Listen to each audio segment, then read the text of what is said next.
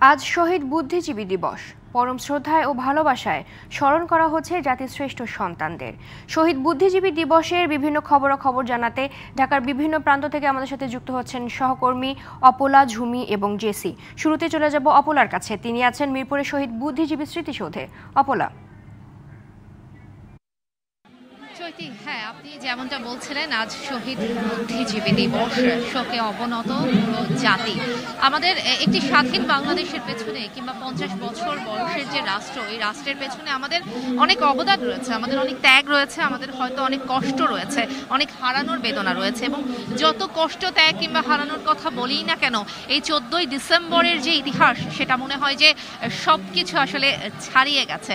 চোদ্দই ডিসেম্বরের এই ইতিহাস মনে হয় যে আমাদের কষ্টের যে জায়গাটা, সেটা মনে হয় অনেকখানি বাড়িয়ে দিয়েছে। যাদের জ্ঞানের ওপরে ভিত্তি করে একটি সৃষ্টিশীল, একটি মেধাবী, একটি স্বকীয় জাতি সৃষ্টি হতে পারত, তাদেরকে বেছে বেছে নির্মমভাবে হত্যা করা। জাতিকে যে আসলে কয়েক দশক পিছিয়ে দিয়েছে, কতটা পিছিয়ে দিয়েছে, সেটার হিসেব হয়তো আর কখনোই করা হবে না।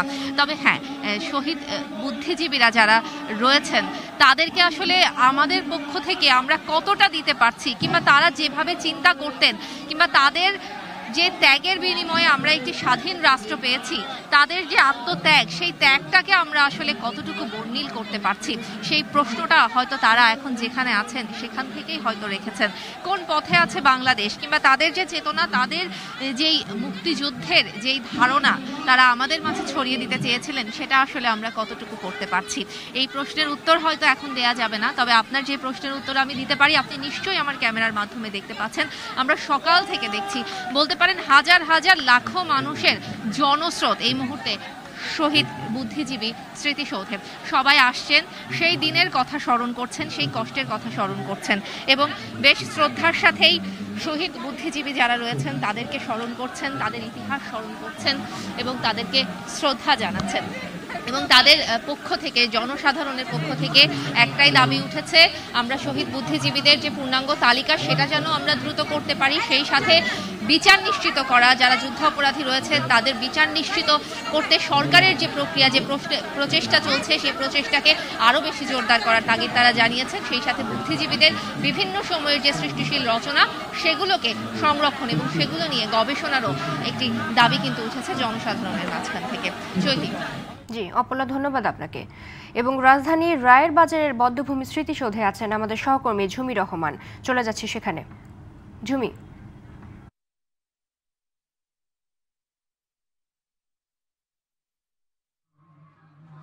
চৈতি এখানে সকাল থেকেই কিন্তু শ্রদ্ধা নিবেদন শুরু হয়েছে। বিভিন্ন সামাজিক এবং রাজনৈতিক সংগঠনের নেতাকর্মীরা এখানে এসে শ্রদ্ধা নিবেদন করেছেন। তার পাশাপাশি বুদ্ধিজীবীদের যেই পরিবারের সদস্যরা রয়েছেন, তারাও এখানে এসে শ্রদ্ধা নিবেদন করেছেন। তাদের পরিবারের যেই সদস্যরা মৃত, মৃত্যুবরণ করেছিলেন, যাদের নিহত করা হয়েছে, এই হত্যার কিন্তু বিচারের দাবি করেছেন যে বুদ্ধিজীবী সন্তানরা রয়েছেন এবং তারা বলেছেন, তাদের জীবদ্দশায় তারা বুদ্ধিজীবীদের তালিকা শুধু বুদ্ধিজীবী নয়, একাত্তরের মুক্তিযুদ্ধের সময় যারা শহীদ হয়েছিলেন সেই শহীদদের তালিকা তারা দেখতে চান এবং বুদ্ধিজীবী হত্যার বিচার তারা দেখতে চান। এই দাবি রেখেছেন এবং প্রজন্ম একাত্তরের পক্ষ থেকে এখানে একটি মানববন্ধন করা হয়েছে। এখানে এসে শ্রদ্ধা নিবেদন করে তথ্য সম্প্রচার মন্ত্রী ডক্টর হাসান মাহমুদ আমাদের বলেছেন যে উনিশশো একাত্তর সালে যে আন্তর্জাতিক একটি গোষ্ঠী অথবা শক্তি তালিকা ধরে ধরে বাংলাদেশের এই সূর্য সন্তানদের হত্যা করার পেছনে কাজ করেছে, তারা সেই শক্তি এখনও তৎপর রয়েছে এই বাংলাদেশে এবং তারই প্রতিফলন দেখা যাচ্ছে। সাম্প্রতিক যেই সময়ে দেশের যেই পরিস্থিতি দেখা যাচ্ছে, সেসব ক্ষেত্রে নানান কর্মকাণ্ডে এবং এই অপশক্তিকে রুখে দেওয়ার জন্য মুক্তিযুদ্ধের চেতনা এবং গণতন্ত্র প্রতিষ্ঠার যেই চেতনা এবং এই বুদ্ধিজীবীরা, এই সূর্য সন্তানরা যেই যেই জন্য মুক্তিযুদ্ধের সময় নেতৃত্ব দিয়েছিলেন, যেই জন্য তারা প্রাণ দিয়েছেন, সেই বিষয়টি যেন নিশ্চিত করা হয় এবং সমগ্র জাতি এমনকি তরুণ প্রজন্ম যেন এই মুক্তিযুদ্ধের যেই ইতিহাস রয়েছে, সেটি থেকে শিক্ষা নিয়ে তারা যেন দেশকে সামনের দিকে এগিয়ে নিয়ে যায়। এখানে যারা এসেছেন, তার প্রত্যেকেই এই প্রত্যাশা জানিয়েছেন। পাশাপাশি নতুন প্রজন্মের কাছে মুক্তিযুদ্ধের ইতিহাস এবং গণতন্ত্র এবং যেই অসাম্প্রদায়িক চেতনা রয়েছে, সেই চেতনার যেই মূল মন্ত্র রয়েছে, সেটি তুলে দিতে চান বর্তমান যেই প্রজন্মরা এখানে এসেছেন বুদ্ধিজীবী সন্তানরা, তারা কিন্তু সেই প্রত্যাশা রেখেছেন যে তরুণ প্রজন্মের হাত ধরেই দেশ এগিয়ে যাবে। সেই জি, জেসি, আপনাকে ধন্যবাদ। দুঃখিত। ঝুমি, আপনাকে ধন্যবাদ। রাজধানীর ধানমন্ডি বত্রিশ নম্বরে বঙ্গবন্ধু প্রতিকৃতিতে ফুল দিয়ে শ্রদ্ধা জানাচ্ছে আওয়ামী লীগ সহ দলটির বিভিন্ন অঙ্গ সংগঠনের নেতা কর্মীরা সেখানে আছেন আমাদের সহকর্মী তাসিনা জেসি, তিনি জানাবেন সেখানকার খবর। জানেন যে আজ সকাল থেকেই রাজধানীর বিভিন্ন স্থানে জাতির শ্রেষ্ঠ সূর্য সন্তানদের স্মরণে শ্রদ্ধা নিবেদন চলছে এবং আমি এই মুহূর্তে রয়েছি ধানমন্ডি বত্রিশ নম্বর বঙ্গবন্ধু ভবন প্রাঙ্গণে। এখানে সকাল থেকে শ্রদ্ধা নিবেদন চলছে। আপনাদেরকে একটু এখানকার পরিস্থিতি দেখাতে চাই। সকাল থেকেই সর্বসাধারণ এখানে শ্রদ্ধা নিবেদন করছেন।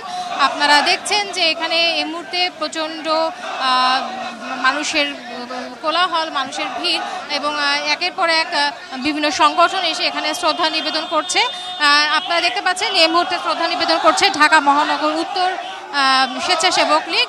কিছুক্ষণ আগে এখানে এসে ছাত্রলীগ সহ ঢাকা মহানগর উত্তর, দক্ষিণ বিভিন্ন স্বেচ্ছাসেবী সংগঠন সরকারি সংগঠন এরা এসে শ্রদ্ধা নিবেদন করেছেন এবং এর আগে সকালে, সকাল সাড়ে আটটা থেকে কেন্দ্রীয় আওয়ামী লীগের পক্ষ থেকেও এখানে শ্রদ্ধা নিবেদন করা হয়।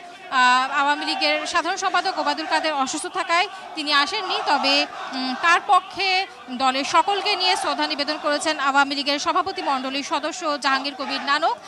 তিনি শ্রদ্ধা নিবেদন শেষে সাংবাদিকদের জানিয়েছেন যে এই জাতির শ্রেষ্ঠ সূর্য সন্তানদের হত্যাকারীদের তারা দেশ বিদেশে যেখানেই লুকিয়ে থাকুক না কেন তাদেরকে ধরে এনে বিচারের মুখোমুখি করা হবে। এবং আপনারা আপনারা দেখছেন যে এখন ধানমন্ডি বত্রিশ নম্বরে শ্রদ্ধা নিবেদন চলছে। কেন্দ্রীয় আওয়ামী লীগের পর আওয়ামী লীগের যত অঙ্গ সংগঠন, সহযোগী সংগঠন রয়েছে, তারা শ্রদ্ধা নিবেদন করছে। এই মুহূর্তে আমরা দেখতে পাচ্ছি ঢাকা মহানগর দক্ষিণ স্বেচ্ছাসেবক লীগ শ্রদ্ধা নিবেদন করছে। সকাল থেকেই বিভিন্ন সংগঠন শ্রদ্ধা নিবেদন করছে এবং আপনারা দেখতে পাচ্ছেন যে এই মুহূর্তে শ্রদ্ধা নিবেদন চলছে। সাধারণ মানুষও আসছেন এখানে শ্রদ্ধা নিবেদন করতে। সব মিলিয়ে সকাল থেকে রাজধানীর মিরপুর বুদ্ধিজীবী স্মৃতিসৌধ, রায়ের বাজার, বদ্ধভূমি সহ ধানমন্ডি বত্রিশ নম্বর সকল স্থানেই শ্রদ্ধা নিবেদন চলছে। আজ সারাদিনই এখানে শ্রদ্ধা নিবেদন চলবে এবং আমরা আপনাদেরকে পরবর্তীতে এই শ্রদ্ধা নিবেদনের খবর আবারও জানাব। জি জেসি আপনাকে ধন্যবাদ।